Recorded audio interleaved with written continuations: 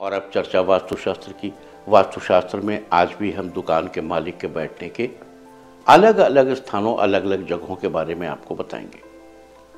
अगर आप दुकान में मेज या कुर्सी पर बैठते हैं तो दक्षिण या पश्चिम दिशा में बैठकर ही मतलब दक्षिण या पश्चिम दिशा में ही मेज या कुर्सी को रखकर बैठना चाहिए।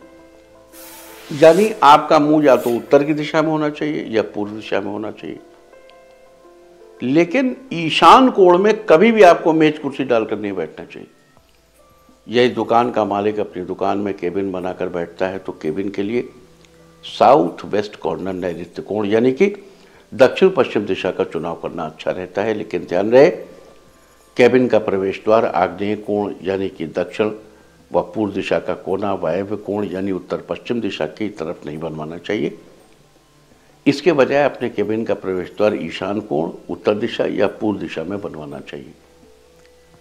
आपके केबिन के लिए ये दिशाएँ सबसे उपयुक्त है, लेकिन यदि दुकान पश्चिम दिशा में है तो दुकान के मालिक को बैठने के लिए कभी भी ईशान कोण का चुनाव नहीं करना चाहिए।